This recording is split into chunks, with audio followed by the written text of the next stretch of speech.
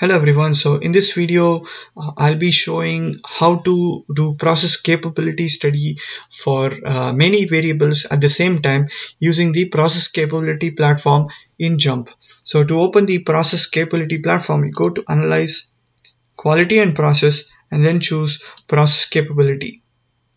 So here uh, if you go to process there are like uh, many variables and let's say you want to analyze the first 10 variables uh, and then you can add them as a y column. And uh, then here there are uh, additional options uh, to add process subgrouping moving range options historical information or distribution options. In if in case that is needed you can change those and then you can say okay.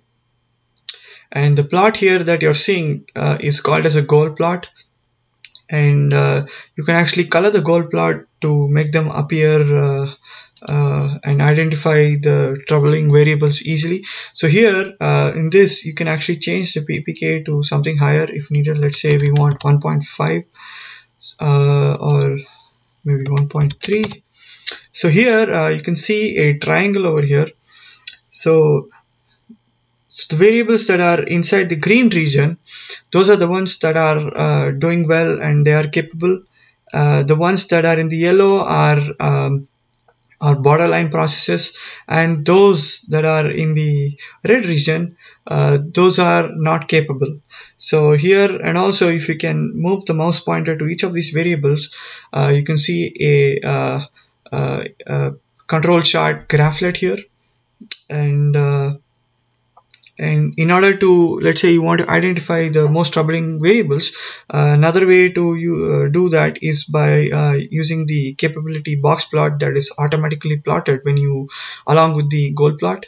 So here you can see the uh, the variable ivp1 is off target and also is uh, uh, is well beyond the upper spec limit. Uh, the green uh, dashed line on the right is the upper spec limit and the green uh, uh, dashed line on the left is the lower spec limit and the green solid line in the center is the target.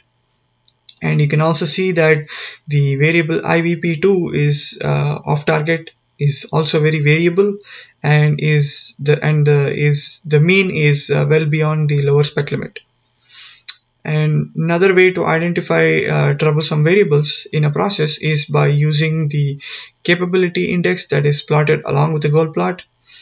And uh, here uh, uh you can see that this is a plot uh, which shows the all, all the ppk values uh, along for each of these variables. and additionally, you can also plot the process capability report for each of these variables uh, from the red triangle option here. And uh, you can choose individual detail reports.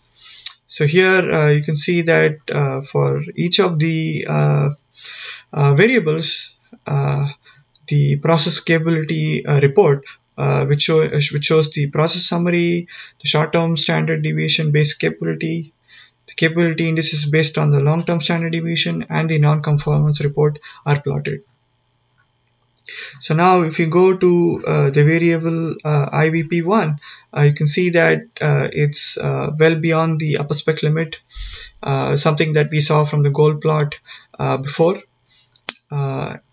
yeah, that's about it.